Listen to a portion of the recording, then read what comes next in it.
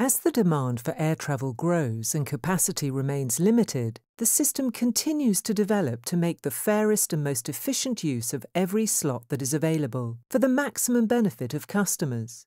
The process starts with accurate capacity declarations from airports, who are key partners in the ongoing evolution of the slot rules. I think one of the things that we excel at at Heathrow in terms of growing our network and our capacity is that as we were in 2019, 99% full. So historic utilisation at Heathrow Airport is very high. Slot process at Heathrow Airport is incredibly important because as one of the world's most constrained airports, it's quite critical that it is controlled and managed effectively. And the slot process means that we've got a regular opportunity to review how much capacity is available, who is flying, and to make sure that we are really making the most out of what is a scarce resource.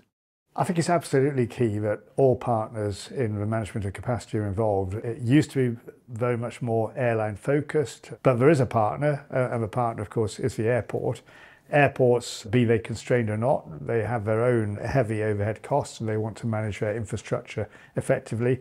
Airports have to invest for the future in terms of uh, what kind of airlines, what size and type of aircraft are they going to have using those airports and plan their capital investment programs accordingly. So the whole use by the, the worldwide slot uh, guidelines of uh, involving airports, I think, is, is a positive thing. For a long time, the airports didn't really play any role in the whole process. We had no party, no participation. And for me, it's incredibly important that we have an equal uh, seat at the table in this. I think the Worldwide Airport Slot Board is a really great initiative to help the industry to provide guidance, advice, to represent each other. So I take very seriously the fact that my role at the Worldwide Airport Slot Board is very much to represent the interests of airports, not just to represent the interests of Heathrow Airport. Yes, we need to make sure that there isn't uh, any complacency or abuse, especially by large players at congested airports.